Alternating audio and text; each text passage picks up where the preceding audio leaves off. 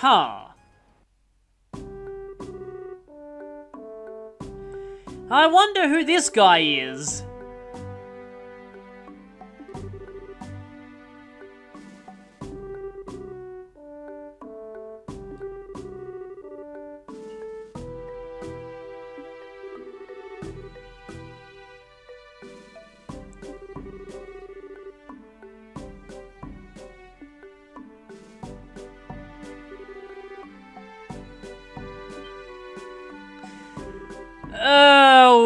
People who are currently occupying this room.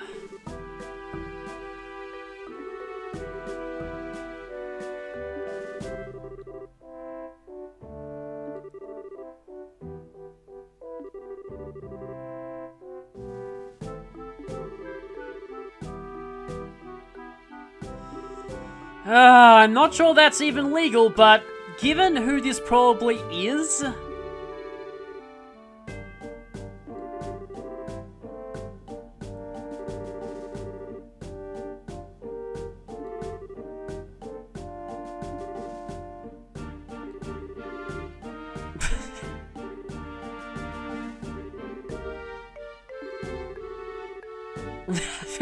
I love I love that how Joshua was like, there's no reason to be rude, and then he just says the same thing just a little bit more politely.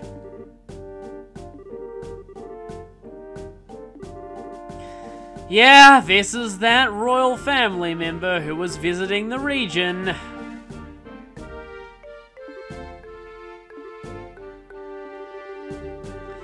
And there's a huge problem with that. If he's demanding this room, he's probably going to get it.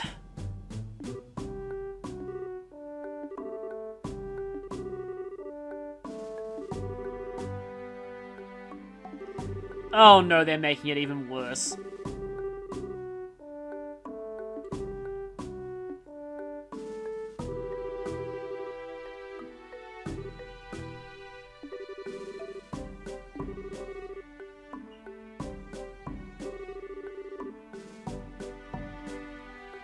No doubt that's been a very unfortunate experience for you.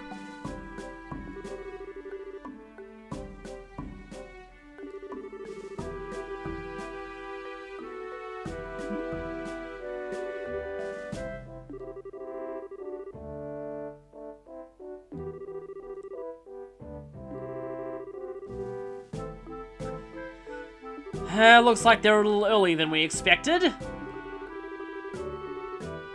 Oh no, this country is doomed already.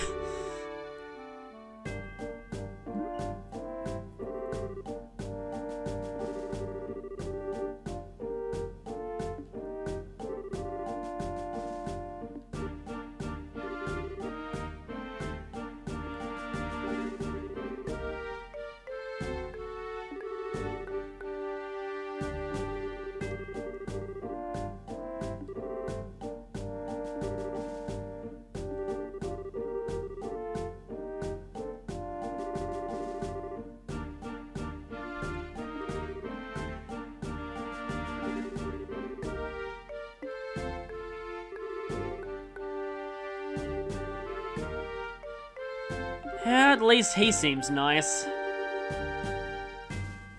Aw. Although, you know, we have ice cream, so I don't really need large sums of money anyway. Yeah, I had a feeling this was too good to be true.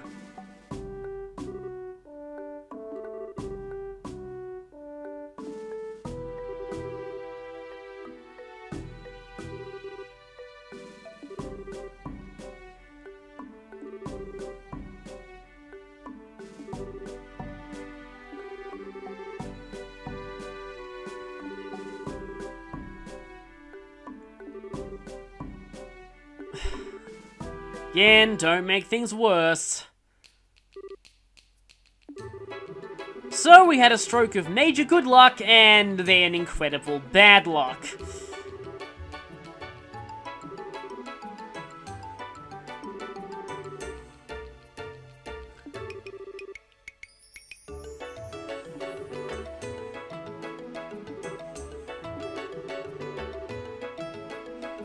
Even more bad luck, of course.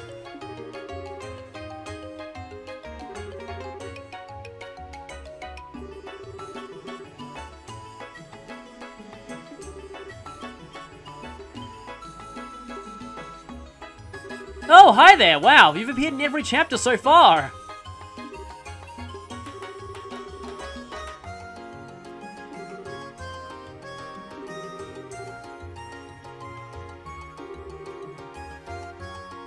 Yeah, some pretty major problems.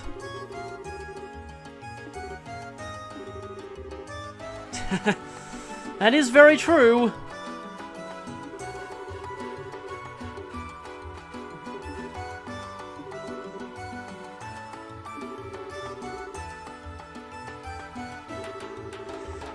Has been a strange roller coaster of luck. We've now hit on some good luck again.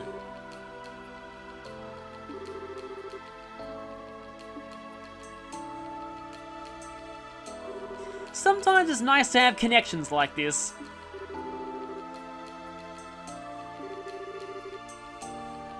Yeah, he probably wants some kind of interview or asked to help with an article somehow.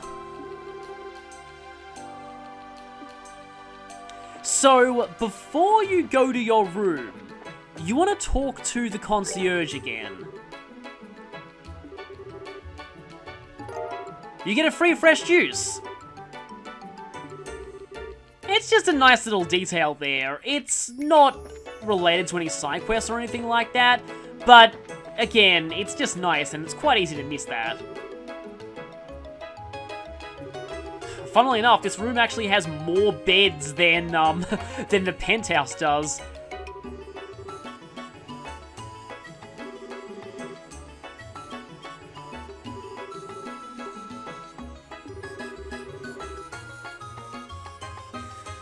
Well, I suppose he does owe us for that.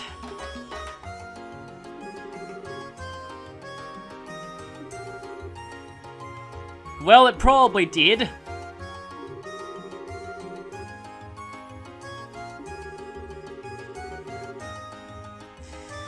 That's exactly what I thought would happen.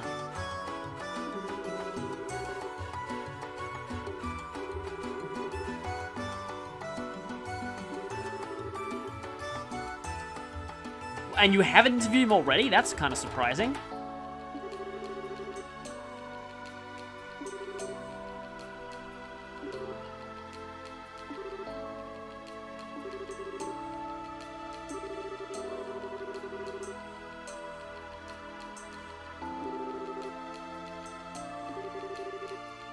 You know what? I was gonna say that exactly. Again, Estelle loves predicting exactly what the player's thinking.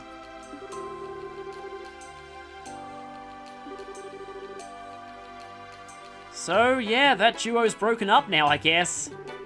That's a shame, I kind of miss her. and she's probably already broken everything in Orbital shops wherever she is.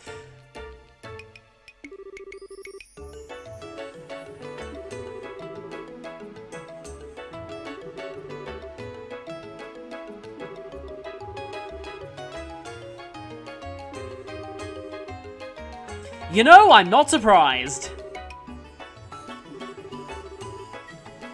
And that means we're all doomed.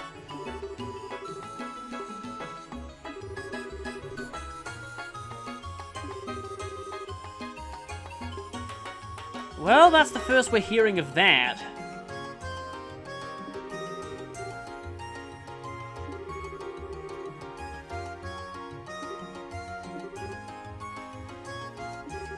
Joshua's perceptive as always.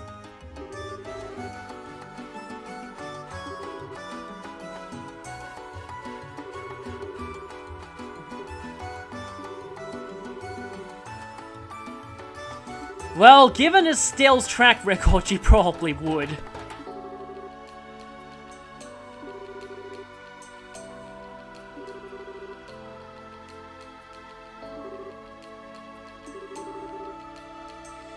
well, he's suddenly a lot nicer than he used to be.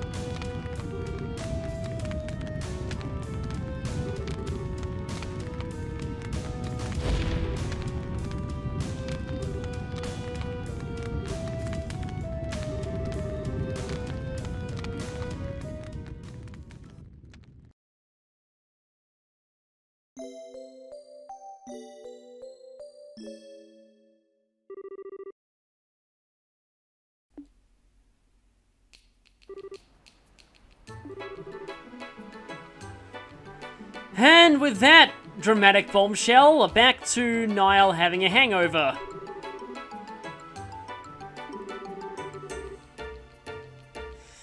Good thing Schera wasn't there at the time.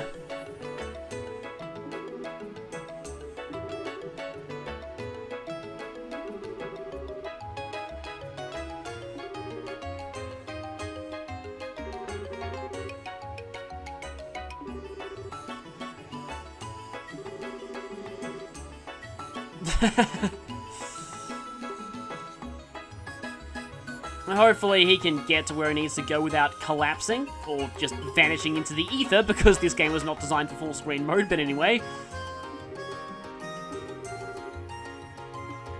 Well, I get the feeling that once we head to the guild, uh... Yeah... We're gonna be finding out something. Yeah, seems everyone around here knows the Ravens.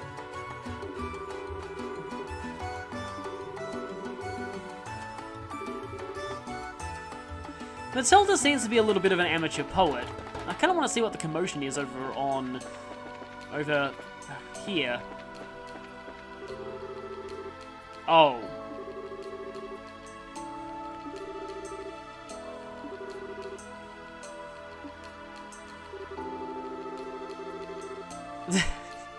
well, I guess he's taking care of his own side quest.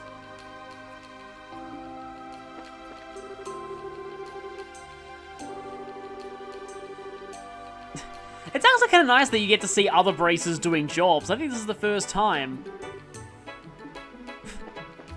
I think he just said, help me there. Reminds me of the Safari Zone Warden.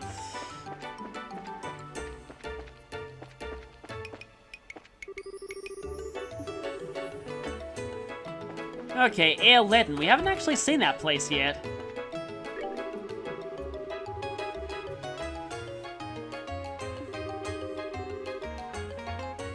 Yes, there's a place to the east that is simply called the East. Yeah. They basically use the East as an excuse to justify any any Asian cultural influences they can put in. So, for example, the Elmo Hot Springs that were mentioned earlier, and we'll see a few more Eastern things as we progress through this game in the series. I just find it kind of interesting how, yeah, a lot of a lot of um games do tend to have like an a fantasy counterpart culture of Asia, but this game's kind of blatant in that it's just simply called The East. But anyway, so we have a few quests here. Find the prototype, Aurian Road Monster, as well as Warehouse Key. But first, we need to go ahead and check in with you, because we're probably going to find out something once we do.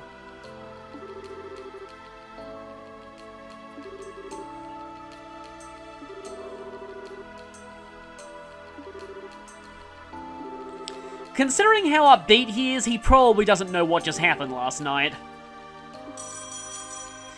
And I think that's about when he's going to be informed.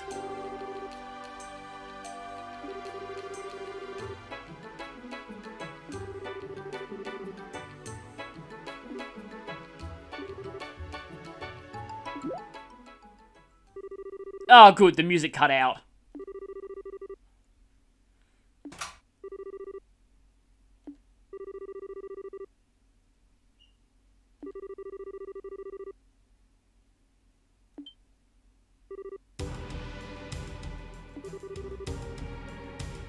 Joshua immediately jumps to arson. Interesting. Yeah, we were just there.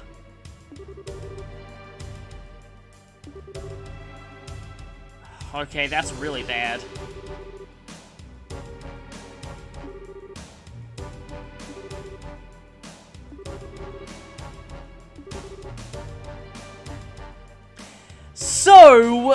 We're gonna be heartless jerks. I'm gonna actually take care of these three side quests before going to the orphanage.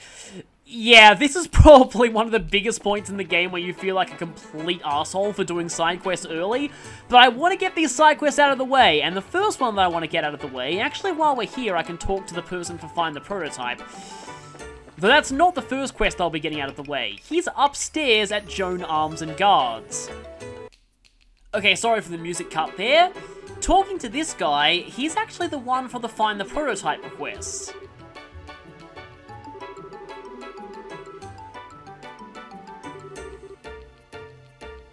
Now we're gonna butt in now. So the interesting thing about this request is, it and Aurian Causeway Monster are essentially one and the same.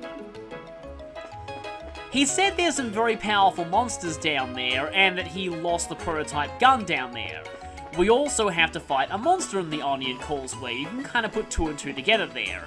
So we'll be taking care of both of those at basically the same time. For the other quest though, we're going to need to head to the South Block and talk to a guy who yeah, remember when um, there's this guy down here talking about the warehouse key? Well, it turns out that he's lost it, as you can tell if you've looked at the bulletin board.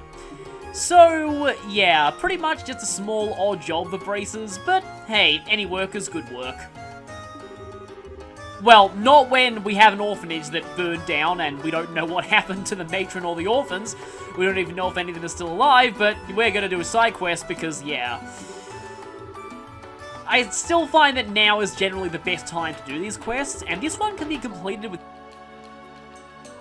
uh, without leaving, I almost said bows, without leaving Ruan. I'm still too used to bows. So it's in the area around Aqua Rosa.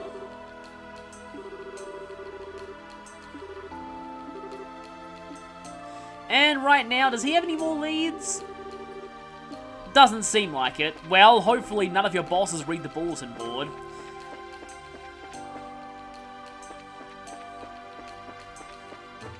So it turns out that if you go here, even though we were told not to go near the, um, the warehouse district, we're just going to head down these stairs underneath this bridge, cross over these wooden planks, and go around behind the Aqua Rosa bar, because if we head here,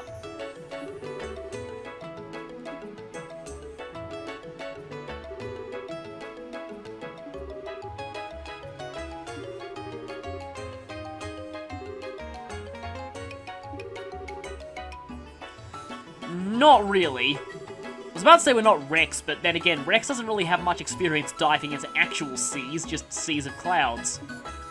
So, something hooked to Snagit, huh? Well, I kinda drew attention to the bar having fishing rods for a reason last time, so let's go ahead and check out one of those. As I said last time, if they're examinable, it means that they're probably important for something.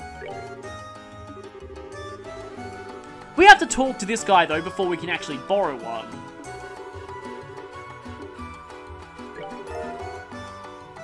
And we don't have to go all the way up there. We get another progressive rod. So, with this fishing rod, let's go over and fish for a key. I'm pretty sure you would not be able to do this in real life because the key would probably be far too small to catch with a fishing hook.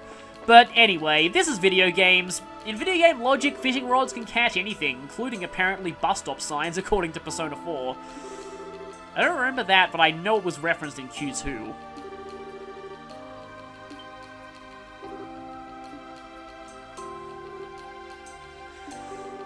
So, fishing solves everything by Estelle's logic?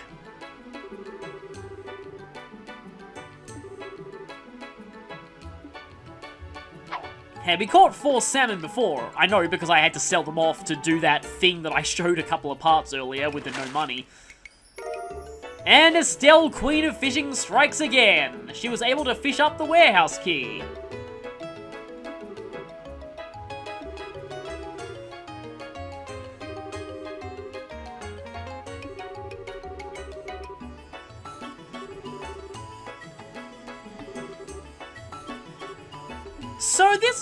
Pretty simple side quest, but it is a little out of the way to get to this area, so I can kind of see why some people might take longer to complete it. You've kind of got to scour the town a little bit before you uh, before you find where the key is, but now that we have the key, we can just return it to this guy, and hopefully his bosses did not check out the Bracer Bulletin board, so they're going to be none the wiser.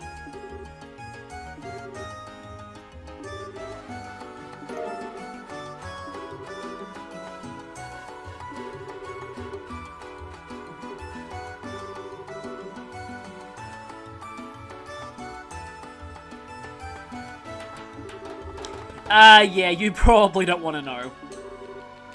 But we still got it. At least it wasn't eaten by a shark or something. And yep, that's all we need to do. The quest is done. So like I said, that one's pretty simple. Do you have anything to say about this?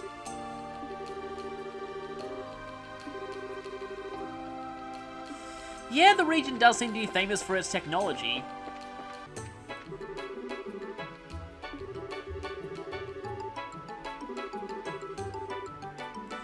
Yeah, there's a little bit of a backstory on the Dalmore family.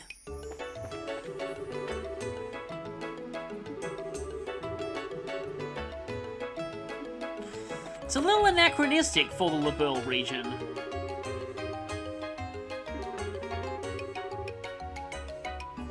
Okay, good to know we may have work here eventually. I just wanted to come here just, just, just to see if the mayor was here, and he is. Yes, uh, we've met him, much to our horror.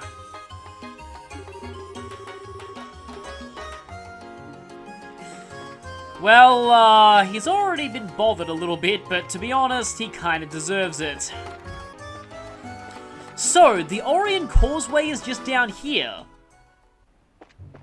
If we check the full map of the region, we'll see that this leads to Air Air-Letten, which is a fort along the wall. There's also the Safil Tower, but we're not going to be doing that just yet, so I'll explain why once we get there. There are actually a few new enemies on this route. In addition, there's one treasure chest here to find. Now, many of the enemies here will be uh, also encounterable on the way to Jenis Royal Academy, which we'll be going to at some point later anyway, but here we go, there's a chest here. Deathblow 2. Reduce to searching empty chest? That's really... Hey, wait a minute, you're reusing messages, game. This thing, though, we can't encounter over there, to my knowledge, so I want to go ahead and fight one of these things. Now, if I remember correctly, these things can inflict instant death, so, uh, yeah, this is why I was talking earlier about how, um, how the fact that the shops are selling instant death protection is a little bit suspicious. Oh, nice, petrified. That's useful since they have so much HP, and I think your model glitched a little bit there. Um, right, let's just use Soul Blur in case I get faint. These things aren't weak to any element anyway. Yeah, you've got a ton of HP. oh, that's it, Demonic Talent. Yeah, I think that thing can insta-kill you, so... Uh, yeah. I guess Flicker's not going to delay its turn at all. Okay, Blind is useful, and it seems like this thing's actually more weak to physical attack than it is to magic.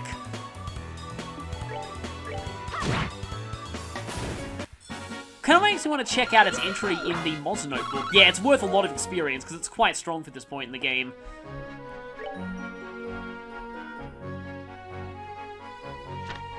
Yeah, its arts defense is higher than its physical defense, so that's kind of interesting. But anyway, uh, we've got this thing. In fact, I actually think that is... I might as well fight this now. It is the Lily Mover's cousin, the Corn Mover. And, uh, yes, it's apparently a carnivorous corn plant. We also have Flying Moth. Uh, I think I'll be able to catch them all in a Hellgate. Oh, they're 10% weak to aerial, so I may as well go for that. I think they will all die to this barrage of attacks, uh, definitely with the plus 10% strength return. Yeah, this should hopefully do it. So I don't want to waste all of that nice CP that I have built up on Estelle. Well, the thing is fainted anyway, so... Yeah. Oh, I also recently upgraded my weapons, so that's probably why I'm doing so much damage to the enemies here. And I'm not showing off White Gehenna yet, there is a reason for that. There's a fight coming up, it's, well, I should just say it, it's the Aurian Causeway monster. Well, let's just go ahead and use the uh, Terror Bomb. And that fight, I'm really gonna need it. So, yeah, you'll be seeing it in that fight, definitely. And in order to get to that fight, we need to take the path to Safil Tower. So let's just head down here.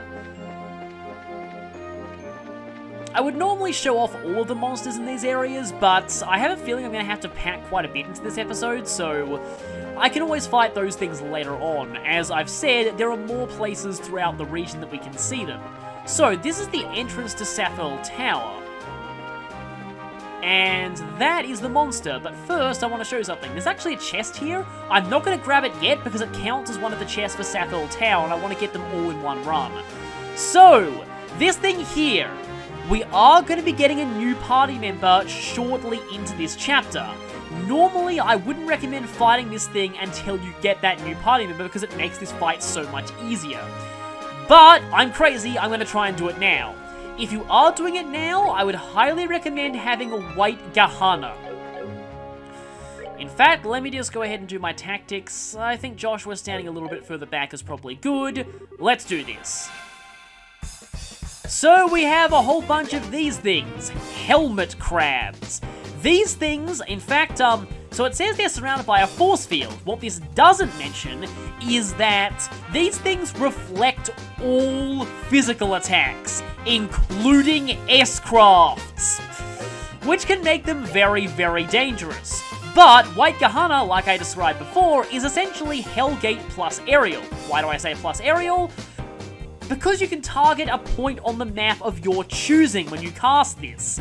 So, yeah, its AoE is... Actually, I think it's about the same size as Aerial, but hmm, do I move a little bit forward? I think I'll move a little bit forward, because I think these things do move to attack you.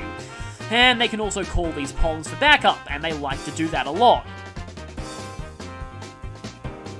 Okay, at least you moved into the White Gehenna range. So let's just check out these things. Mint Pom.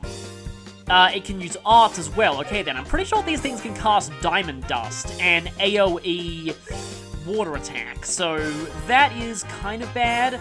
I think I'm going to focus on the helmet crabs, mainly because if I don't, then, um, oh, right out of the AoE, that's annoying. Mainly because once I get rid of them, I can safely use crafts on things. This is White Gehenna, by the way. Very strong, 20% chance of faint, and you can aim its AoE wherever you want. So yeah, it is essentially Hellgate plus Aerial. The two best AoE spells from the early game combined into one for the mid-game. I love how the Poms look sad when they're affected by a status. So, okay, more Poms. Uh, this is going to be worth a ton of experience, isn't it? Yeah, you might actually notice though, White Gehenna does have a longer cast time than Hellgate does. So you will need to bear that in mind. I think it's one of the first arts we're seeing so far that has longer cast time than average. So sometimes that might not be entirely ideal.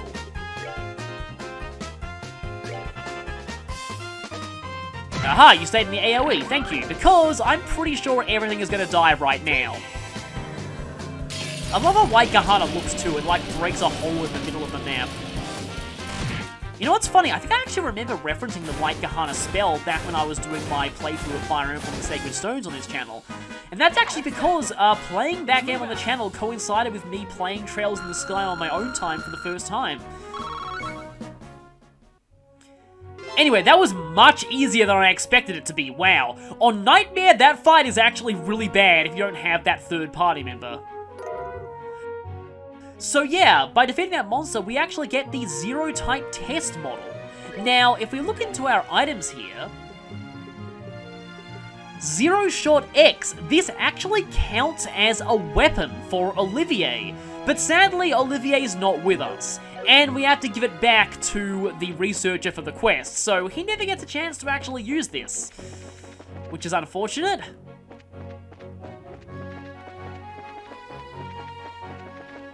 But it does count as an additional weapon for our weapons log, so that's good to know. So let's go ahead and give the prototype weapon back to Carl. Oh, don't worry, we already did.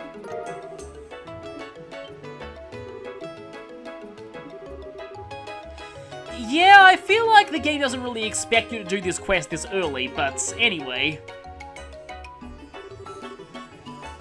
Monsters being attractive to Septium causes a lot of problems in this universe, doesn't it?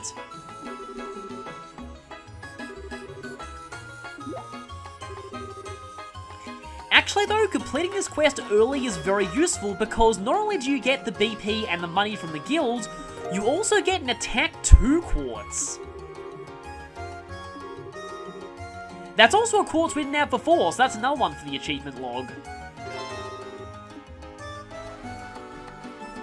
So let's see, I actually really like HP 2 on Joshua though.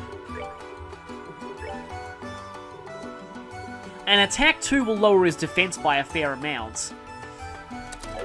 Yeah, remember when I was talking about Flare Arrow earlier? It's easy to get, it only requires 3 fire energy, but it's weaker than a lot of other second tier single targeting art, so it's, uh, I don't really like it all that much. It's not really that worth it unless enemies are specifically weak to fire.